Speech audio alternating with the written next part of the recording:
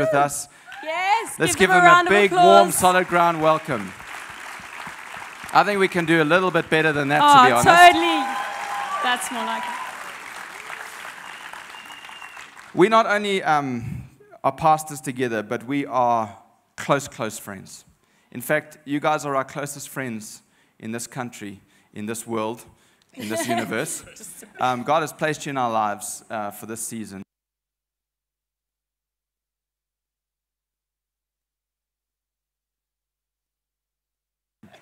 And uh, it's a great privilege to have you guys here this morning. Brian, thank you for coming to minister to us. And we're looking forward to all that God is going to share through you this morning. But before we do, we'd love to hear from Caitlin.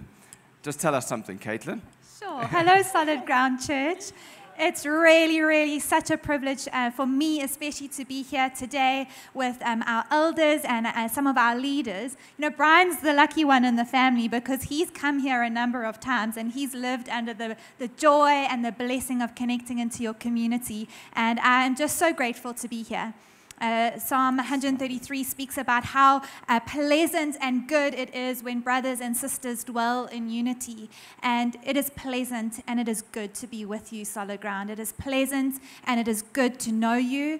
And it is pleasant and good to receive from the gift of what God is doing in this community. Amazing. For many of us, we are familiar strangers, but we at West Point, in Natal, in Durban, we benefit from the gift of faith that God has put into this church. So thank you. Thank you for your yes to Jesus. Thank you for following him. Um, thank you for sowing into his kingdom. It is pleasant and good for us because of the unity we enjoy with you. Amazing. Thank you, Caitlin. Well, Brian, let me pray for you. Heavenly Father, I just thank you so much for Brian and Caitlin, and I pray that as Brian preaches to us right now, Lord, that you would empower him with the Holy Spirit to preach with boldness, Lord, and we open up our hearts to receive right now in Jesus' name. Mm. Amen. Amen. Thank you.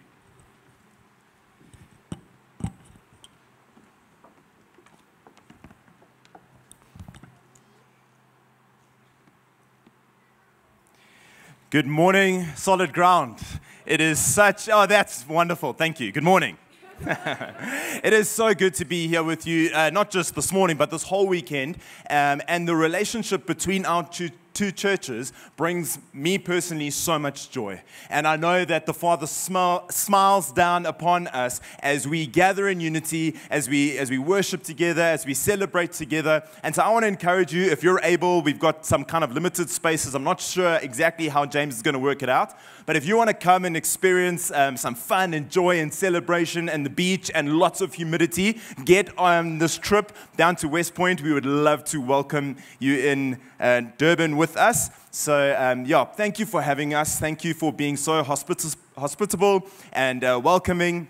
It's just really such a joy. I don't feel like I need to do too much of an intro about like me and my family and my life story because I really do feel so at home here at Solid Ground. And uh, so thank you for making it a place where uh, when I come and visit, it's just like, oh, cool. Hey guys, hey Renus, hey Jono, Benika, how's it going? It's just like my family. And um, I just want to thank you for being such a warm, welcoming church and so I feel really at home. I've got uh, my wife, Caitlin, who you've just heard from. She's the real gift in the family. But we've got two little boys, uh, Judah and Caleb. Judah is six, Caleb is three, and uh, they've had the best time uh, hanging out with your leaders and their kids, and going to the Birds of Prey thing, and just having the most amazing time. And uh, Judah's probably busy having the time of his life in your children's church. So we're going to go home and we're going to have to spend like a lot of money making sure our children's church has an awesome play park. And uh, so thanks for that. And if you want to contribute, you can just give uh, directly into my. No, I'm joking.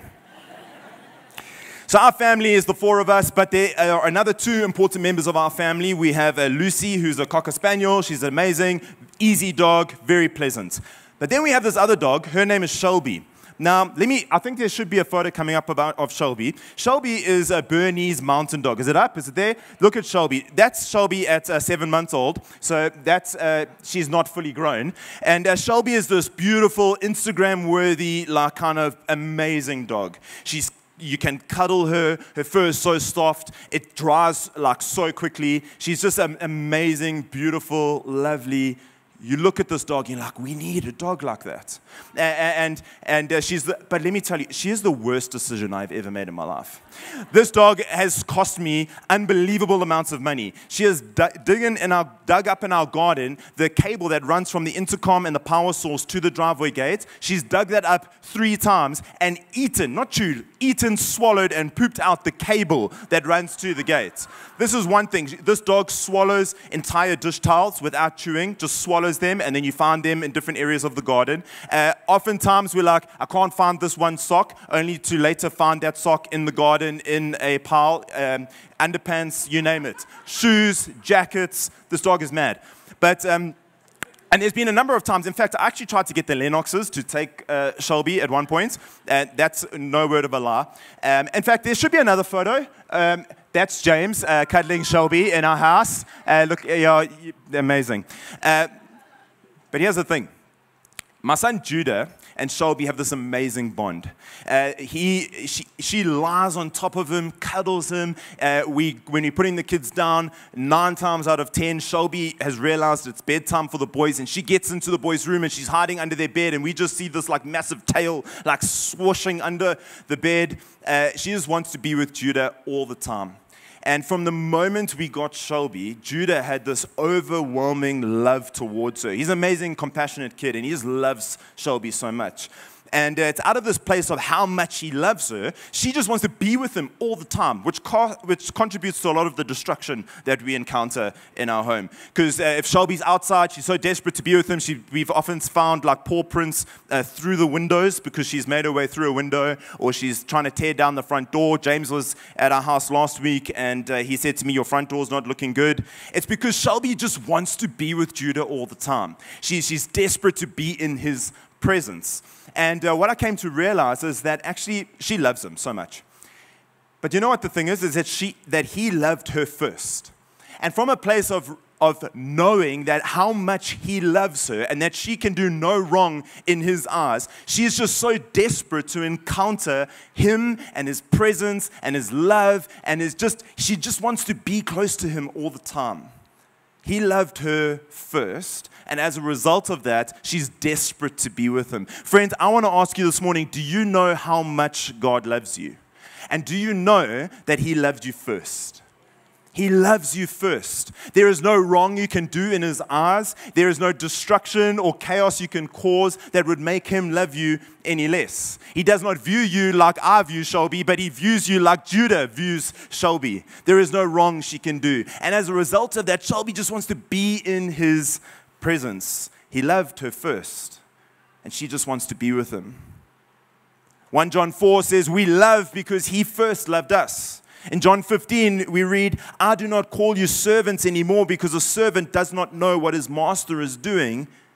I have called you friends because I have made known to you everything I've heard my Father doing. You did not choose me, but I chose you. Before we made a decision to get up and come to church or surrender our lives to Jesus, He chose us and He loves us. Ephesians 1 says, For He chooses us in Him before the foundation of the world to be holy and blameless in love before Him. And so today is a great day because we are starting our first uh, message in our combined preaching series that we've titled Encountering Jesus.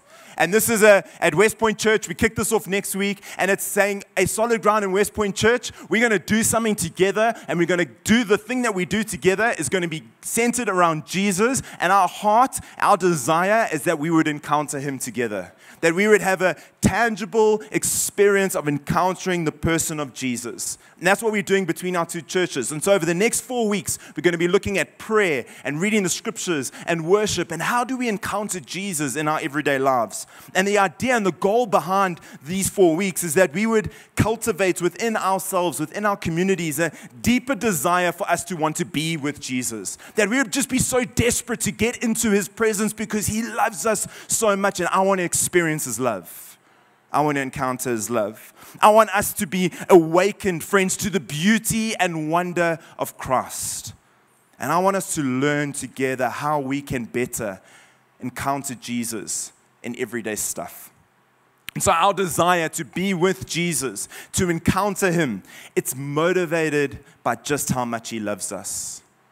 I have a revelation of how much I am loved. I just want to be in that place. Because if our motivation to encounter Jesus or be with Him is motivated by anything other than His love towards us or experiencing His love, then we're basically starting off in the wrong point. It won't last, we won't have a true encounter, it just it won't be sustainable. We are motivated by love, in particular, His love towards us. And so today, I want to look at how we can encounter Jesus when we pray. Now, when we talk about prayer, particularly on a Sunday in the church, uh, different emotions can arise within us. Uh, for many of us, it could be this emotion of guilt, like, oh my gosh, I don't pray enough. And this feels like now you're telling me I must do something that I know I'm not doing enough, and so I feel guilty. For some of us, it might be fear that someone might ask us to pray aloud. Like that's a, that's a real stressful thing. Or, or for some of us, it might be a desire like, I know prayer is important. I know prayer is awesome. I know that when I pray, I encounter Jesus. I want to do this. I just don't know how. And for some of us, it might be, oh, prayer, again, like so boring. Now, personally, I've experienced all of these emotions when it comes to prayer. I remember uh, one or many, multiple evenings early on in our marriage when Caitlin and I would drive off to community group on a Wednesday evening, and I would tell Caitlin, under no uncertain terms, would, would, uh, would I pray aloud. And that if I was asked during community group to pray aloud, like, Brian, why don't you open in prayer? That she better perform her biblical wifely duties and step in and cover in prayer for me. I remember feeling guilt uh, in seasons gone by that I just don't pray enough. Uh, I have definitely felt the desire to get better at prayer and get better at my relationship with Jesus, knowing that actually to have a relationship with Him, like I need to pray and I need to get better at prayer. Only to find that every time I pray, I just find that I'm asking Him for stuff, that it's just my shopping list towards the sky. And I know that for me personally, to be in a relationship where the only time we engage and particularly if, if, I'm on the receiving end of that relationship, is if I'm getting requests for things, then that relationship would probably suck. Like, imagine every time I spoke to Caitlin, the only time I ever verbally spoke to her was when I asked her to do stuff for me. The relationship would be deficient. And I felt, um, you know, that as a result of a disconnected heart towards the Lord or disordered loves in my life, that prayer can be boring. By the way, when prayer is boring, it probably reflects more of my own heart than it does reflect on God Himself.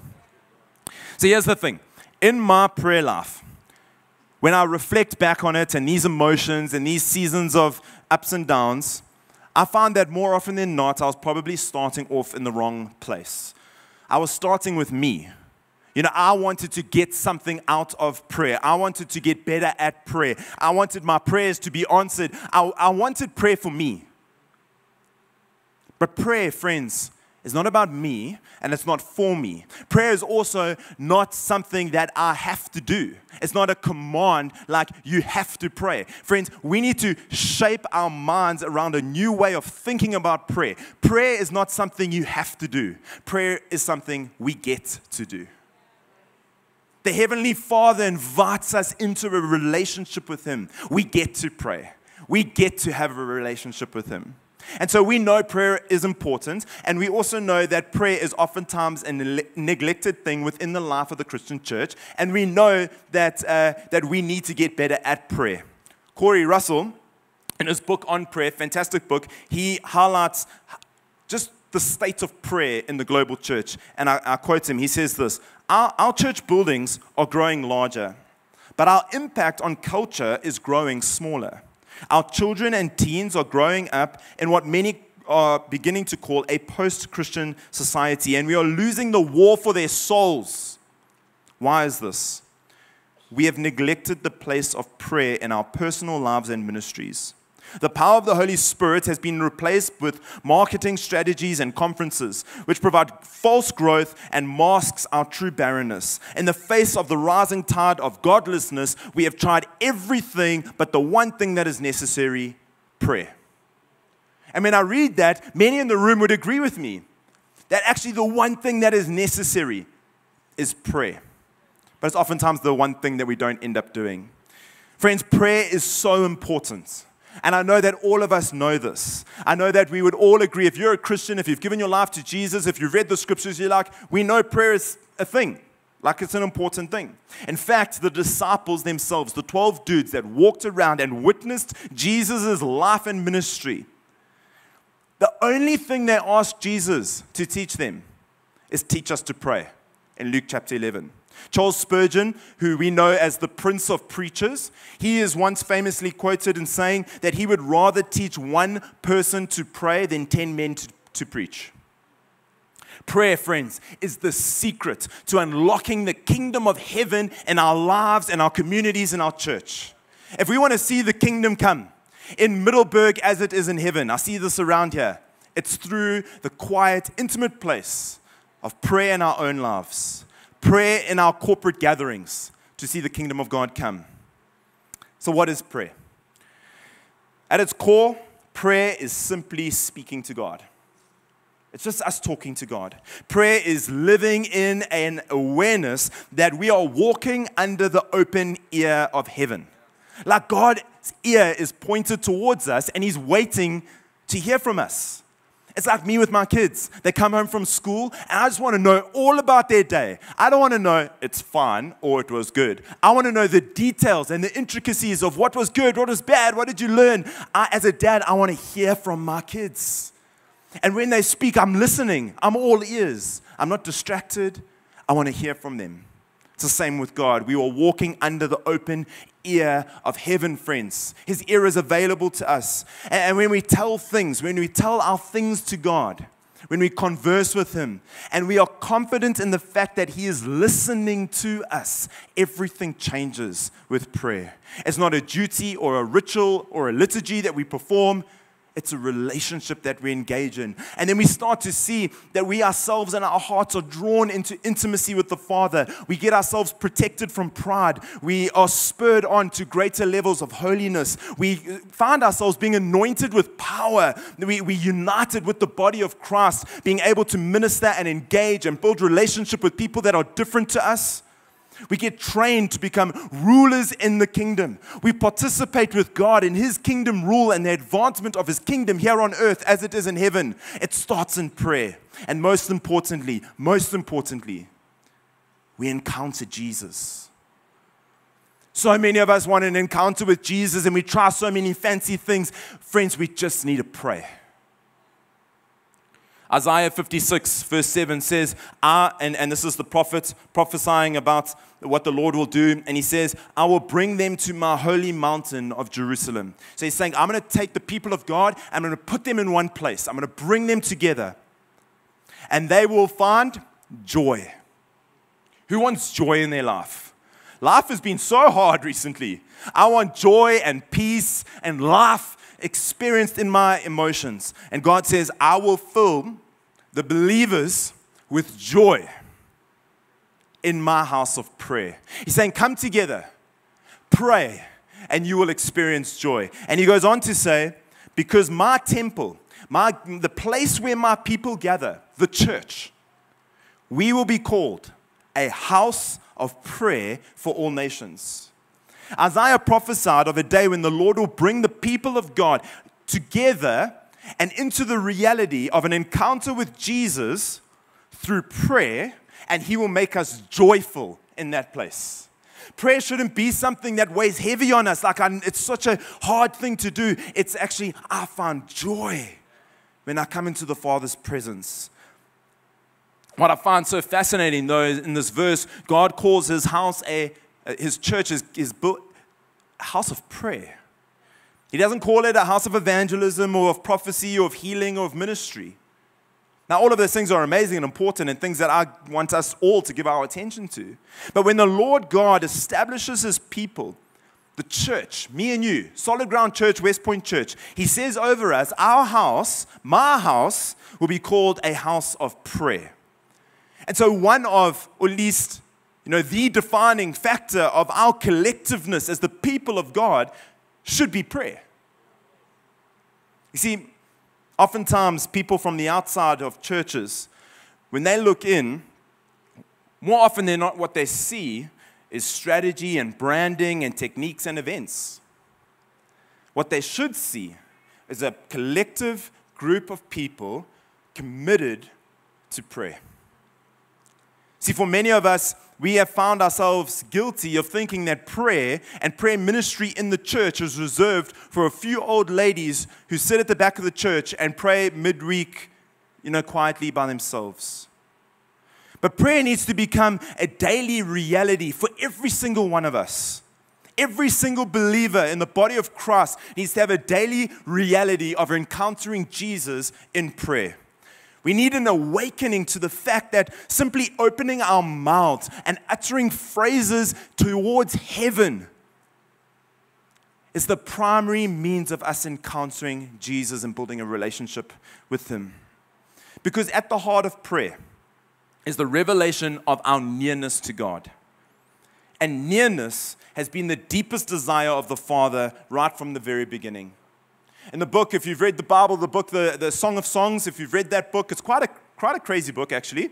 Um, you know, quite erotic in many ways. But um, there, it's, it's, actually what it actually is. It's, it's a, a prophecy of Jesus' intimacy and relationship with the church. And, and we read this. He wants to see our face and hear our voice in chapter 2. The most intimate beautiful poetic book in the Bible describing Jesus' relationship with you and me, we read, He wants to see our face and hear our voice.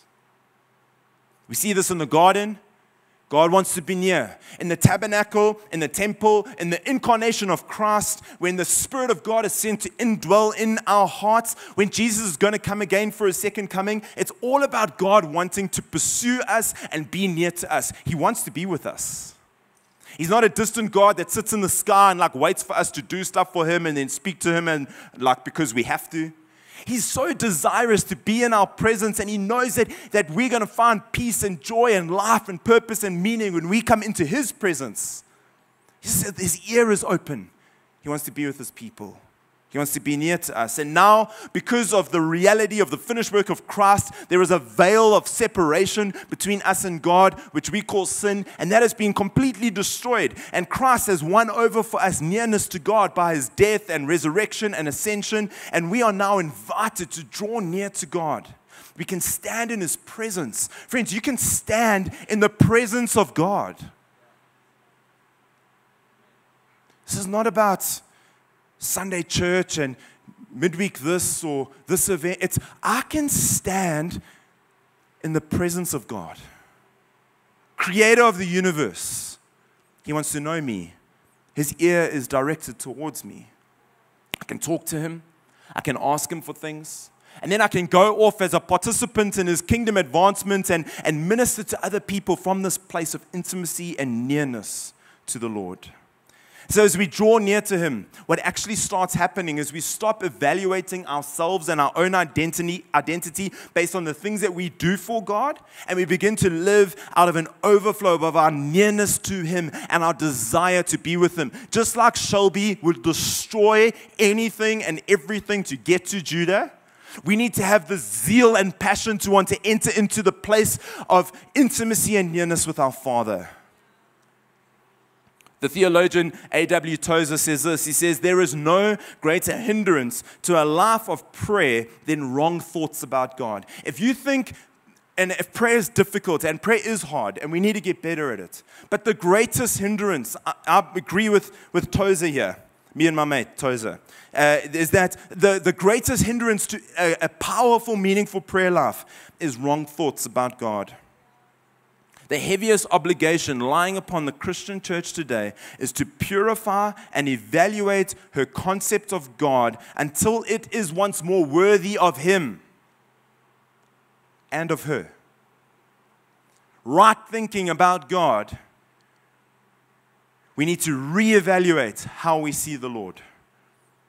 I believe that there is so little prayer because our view of God is actually so small. Our God is glorious, He is beautiful, He is good, and He cannot be improved upon. And yet, so many of us are, are, con- are, are not connected to this reality. We have a low view of God, and our low view of God, it will, the first place it's going to manifest itself is in our prayer life. Just like Israel, we fail to recognize that He is a great King who is worthy of all of our energy and our time, our efforts, and our worship. This is why developing a, a strong, a faith filled, a powerful, and sustainable life of prayer has to begin by changing our thoughts of who God is.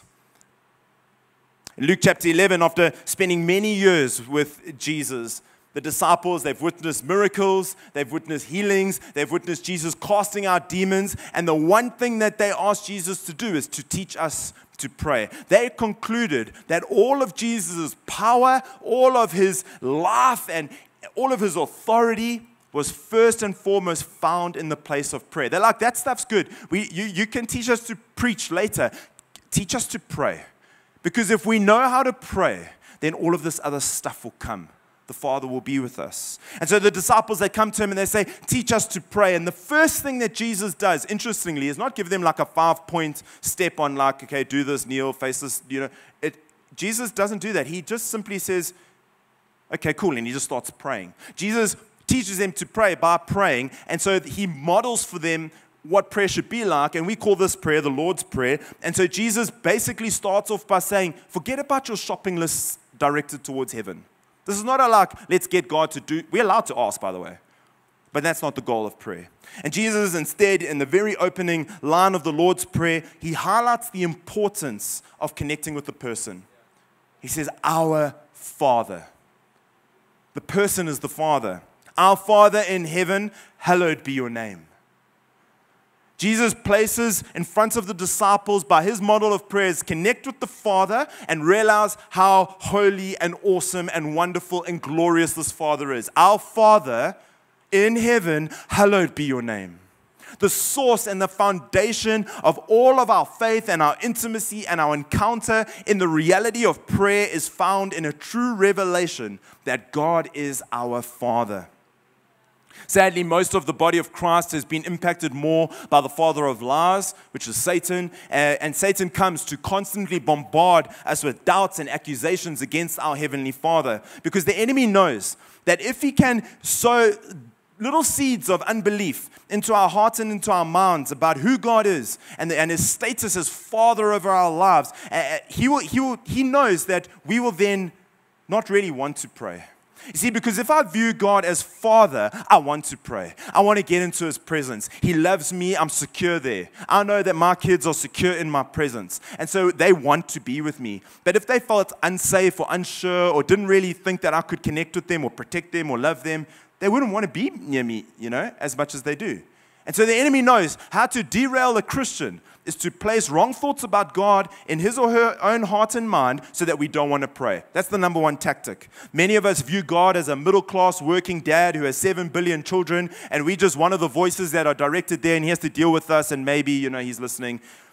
Others of us view God through a lens of our own earthly, our relationship with our own earthly fathers. Maybe a dad who was emotionally absent or physically absent uh, or unwilling or just unable to meet our needs. And so we place these without even realizing it. We place these attributes onto God as Father and, we relate to God in a warped, dysfunctional way. Because in both cases, we allow broken, fallen man and their enemy, the, the, the father of lies, to form our belief of who God is as our Heavenly Father. And the only way to break free from this unbelief and to feed ourselves on the knowledge is to, is to feed ourselves on the knowledge of God, the truths concerning who He is and, and who we are to Him. Because, friends, the Bible is filled from start to finish uh, uh, with this revelation of who God is. Let me tell you who He is. He is merciful, He's long suffering, He's patient, He's faithful, He's compassionate. He's jealous. He's an all consuming fire. He is love. Like he's not just loving, because that's an action. God is love itself. He, he, he is uh, rich to all who call upon him, not just in provision, but also in generosity. He's overflowing in abundance towards those who call out to him. He is kind. He is all knowing. He is all powerful. He's present everywhere. He's with us right now. He's eternal. He is the Alpha and the Omega, the beginning and the end. He is meek and humble and just and righteous and holy and indescribable. He's above and beyond. He's the greatest gift you will ever receive. He loves you, He pursues you, He's for you. He's everything you can ever imagine. We actually cannot describe Him, and this is just the tip of the iceberg. This is our Father. And our Father, the creator of heaven and earth and all things, who has the desire to give us every good gift in Christ. This is the God that comes near, puts his ear towards us, and says, Have a relationship with me. Have you ever stopped to ask yourself, Where did God begin?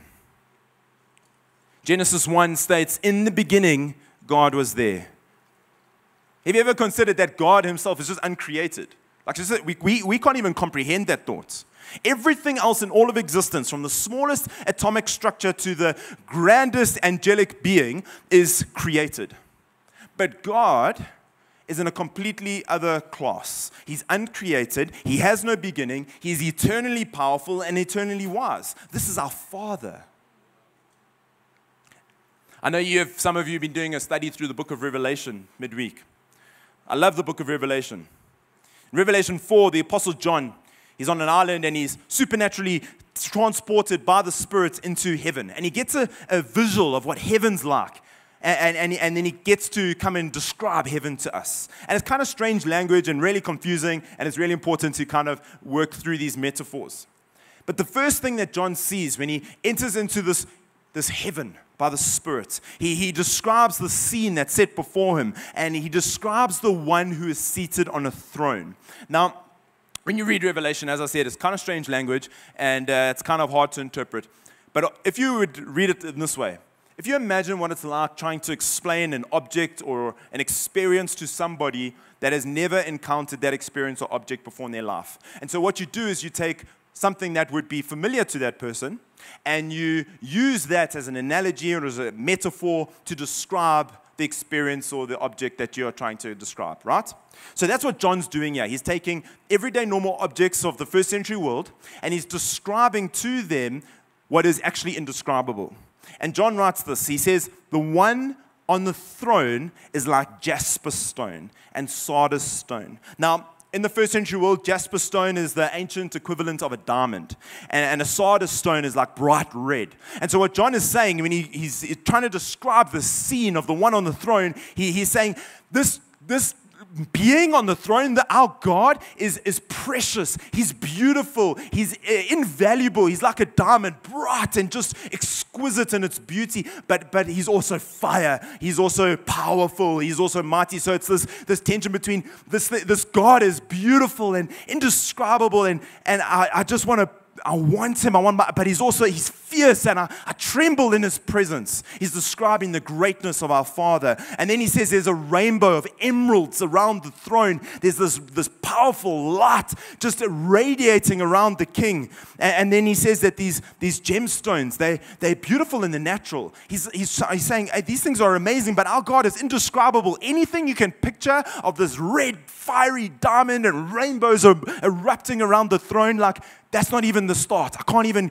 I don't have words to describe this, this God of ours. And he says his beauty is the completion of all of his perfections. Our God is perfect in every possible way. It's a, a product of his very being, is perfection. Perfection, absolute perfection. God is a blinding light. He's holiness. Uh, he is an all consuming fire. He is consumed with jealousy towards us. He, is, he overflows with covenantal mercy and grace and love towards his children. He's beautiful and burning and merciful. And his mercy is clearly demonstrated as John describes the scene, this throne room scene. There's 24 elders. These 24 elders are also seated on thrones. And they're wearing garments, uh, they're the robes, uh, these beautiful robes, and they've got crowns on their heads. And, this is us. He's, he's saying, hey, God does not give you and me what we deserve. He actually invites us into this glorious throne room and then puts us on a throne. And then he puts his righteousness, his robe of righteousness over us. And then he rewards us, not based on anything we have done, but because of the finished work of Christ, we get a crown on our head. And we enter into this, this throne room with God. Friends, when we are reawakened to the revelation of our place before God, I believe that prayer, talking to Him, and an encounter with Jesus will actually erupt across the earth. I honestly believe that prayer is so few, we pray so little, because the view of God in the Christian church is so small. How do you view God? The book of Revelation does not describe the glory and the, the greatness of the Father alone. Immediately in the first chapter, in the opening uh, pages of this book, this wonderful book, we read a description of Jesus that reveals the divine glory of the Son. So in Revelation 1, before we even get to this throne room scene of God and wonder and glory, John hears a voice a voice like the sound of a trumpet.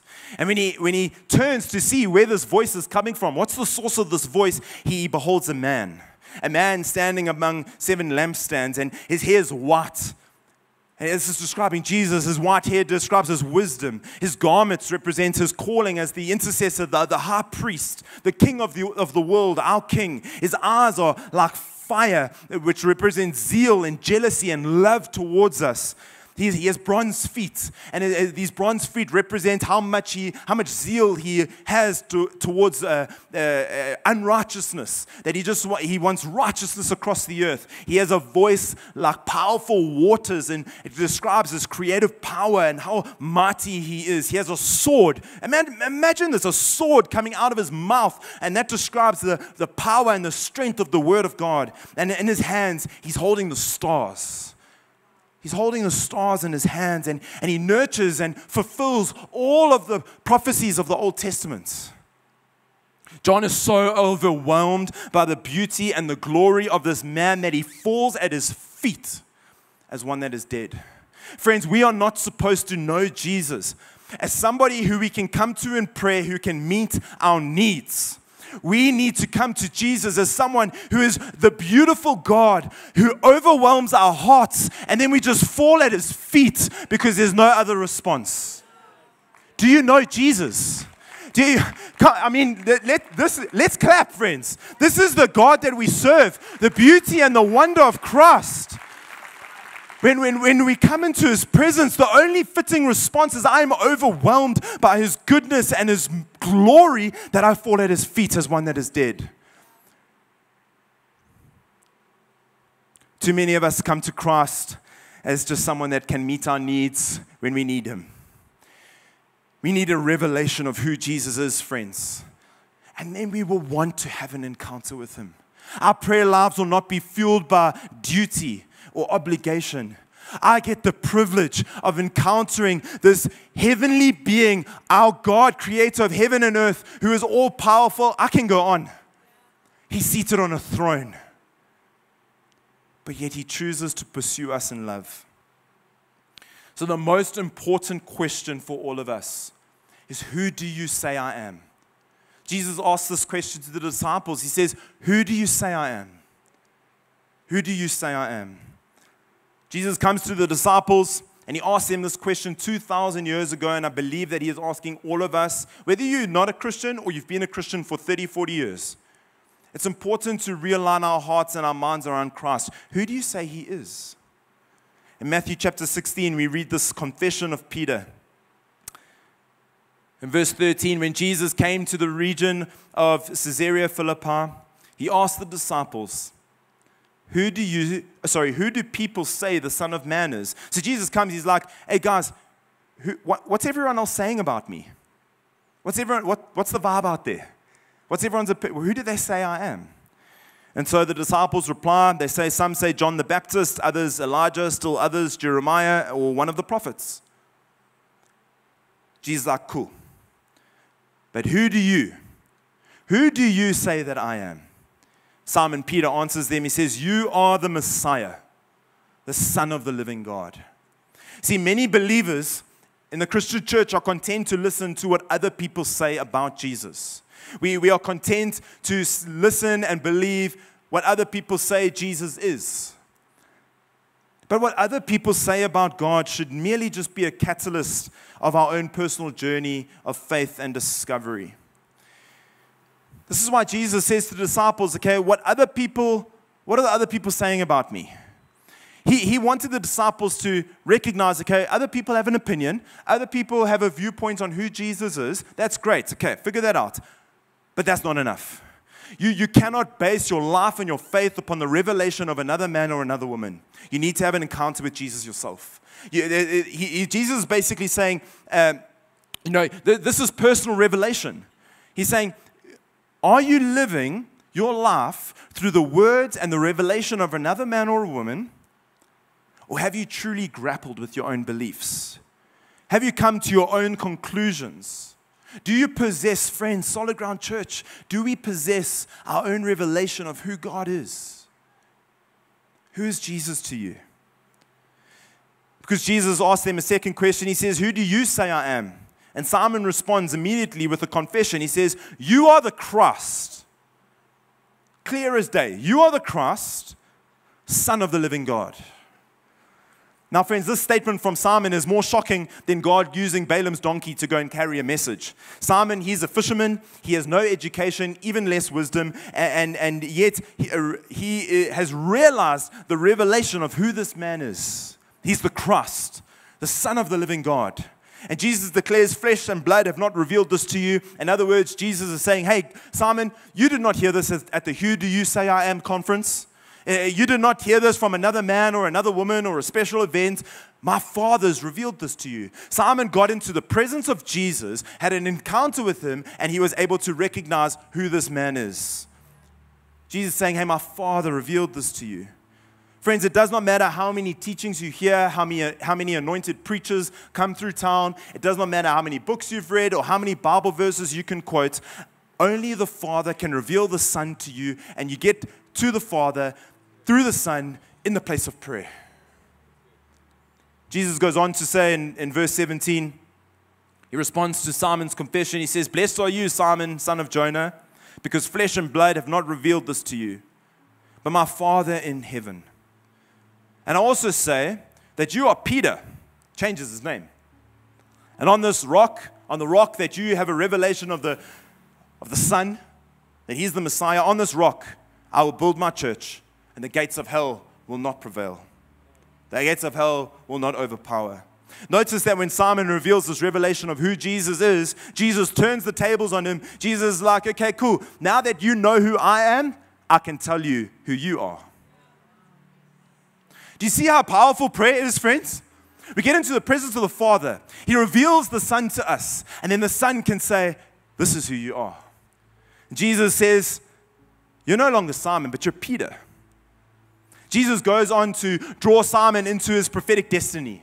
The plans and purposes of God over Simon's life are, are released and spoken over him. Simon becomes the great like pastor in church history. Many believers in the church today are so obsessed with finding my identity. Trying to so obsessed with finding like what's my purpose? What's my meaning? What's my special role in life? We try so many things five step plans to happiness, and all sorts of stuff to find out who I am. But only those who find the Son and truly understand who He is will be able to understand who they are and who they're created to be. So, who do you think you are? The revelation of who He is and the revelation of who we are to Him, those are the pillars on which confidence and authority and power and encounter in prayer rests. You want an encounter with Jesus in prayer? Who do you say he is? Let him tell you who you are. Everything will change. We cannot separate the quest from our own personal identity and our own knowledge of God. We cannot separate the two. Many believers experience identity crises, and I believe the reason is because they're trying to find themselves in everything and anything other than God. But Peter discovered if you know who he is, then he's going to tell you who you are. Because one of the great truths, friends, that's, that's given to us at the cross, that's revealed to us at the cross of Christ, is just how much God loves us. Ask this question again Do you know how much God loves you? and that He loves you first. He loves you so much, then rather than lose you, he takes on your form, he lives your life, he dies your death, and he places his very spirit inside of you because he wants to be near you. Not just like he wants to come and over for a braai, he actually indwells in your heart. That's how much he wants to be near you. He's with us forever. He loves you so much that he takes on your form, lives your life, dies your death, places his spirit inside of you. The cross of Christ is the ultimate declaration that God loves you, friends. Can you just say out loud, like, God loves me? Say, God chooses me. God delights in me. Friends, God is, he, He's here. He wants to be with you. When a third of the angels rebel and they get cast out of heaven, does God chase after them?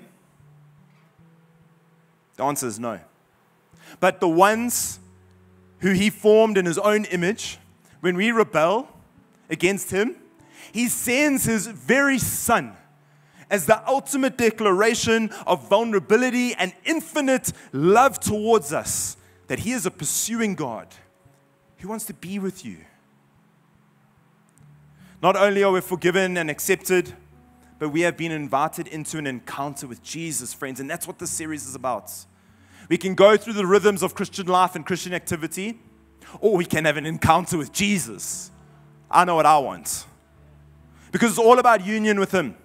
Jesus went to the cross for this purpose. He wanted to, to, for us to be with Him and for us to see His glory, for us to have an encounter. Our words towards Him, our, our prayer lives, None of it will matter if our hearts are disconnected from who He is, if our loves are disordered in our lives. Intimacy, relationship with the Father, that's the beginning of prayer.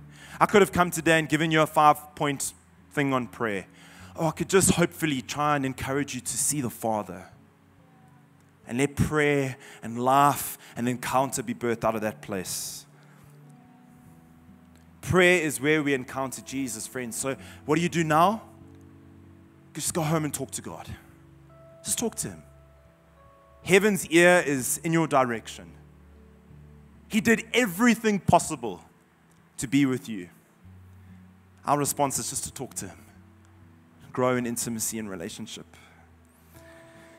The most practical thing that you can do going forward is to just set aside time every day, quieten your soul, and speak to God because we can talk about prayer, we can read about prayer, we can watch other people pray, but in the end of the day, unless we go on this journey and have a personal encounter with Jesus and get onto this thing ourselves, it's not going to happen. A, a, powerful, a beautiful, a vibrant prayer life does not happen by accident or by listening to someone else preach. We got to get in the prayer room. We got to get into the closets. You got to speak to the Father.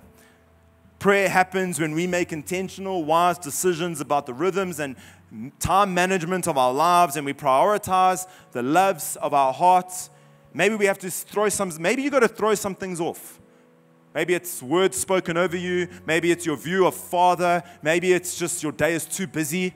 You got, maybe you got to change some stuff. But it's worth it, friends, because you see Jesus. I want to experience what John experienced where there's this, this uncontrollable thing of just falling down at the feet of Jesus because he has overwhelmed my heart. If we know who he is, he will tell us who we are, and our relationship, our the reality of a faithful life will take on a whole new meaning. The source and foundation of prayer is the knowledge, friends, that God delights in you. He loves you. And the revelation that we are His beloved bride will be the foundation and the fuel of all of our prayer life. So we need to look to Jesus. We need to see him for who he is. And then we need to cultivate a hunger and a desire to want to be in that place. And then we do everything possible.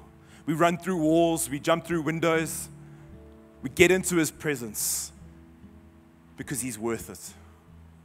Let's stand together. Father, we love you.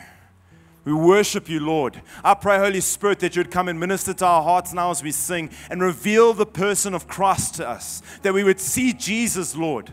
I pray that our lives would never be the same because we've had an encounter with the King of Kings, the Lord of Lords, who loves us, who pursues us, who died for us, who rose again to life for us, who right now himself is the great intercessor, meaning he's praying for us on our behalf towards the Father.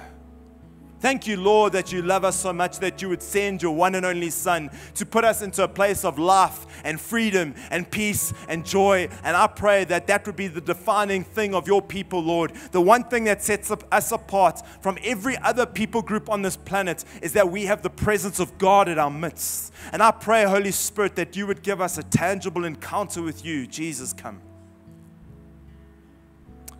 Let's sing, let's worship.